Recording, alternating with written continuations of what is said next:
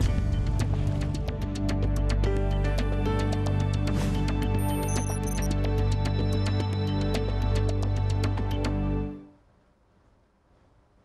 Olá, bom dia. A presidenta Dilma Rousseff viaja para Natal, no Rio Grande do Norte, para participar da solenidade de entrega de retroescavadeiras e motoniveladoras para as cidades potiguares que sofrem com os efeitos da seca. A repórter Daniela Almeida está no local do evento e tem mais informações. Bom dia, Daniela.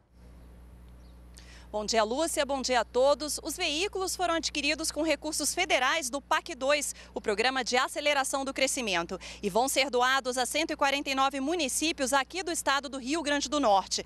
Todos eles têm até 50 mil habitantes e estão localizados no semiárido aqui do estado. Essas retroescavadeiras e também motoniveladoras vão servir para abrir novas estradas e também fazer a manutenção daquelas já existentes. Tudo isso para fazer escoar a produção agrícola local. Elas também podem servir para a construção de reservatórios de águas e cisternas. A meta é entregar cerca de 18 mil máquinas como essas. Até o momento foram entregues 2.549 máquinas a cerca de 2.190 municípios.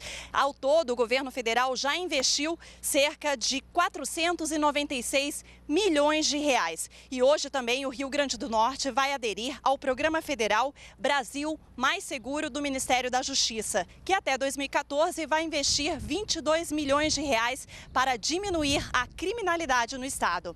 Lúcia. Obrigada, Daniela. Lembrando que a transmissão ao vivo do evento está marcada para logo mais às 11 da manhã. Continue com a gente, NBR e a TV do Governo Federal.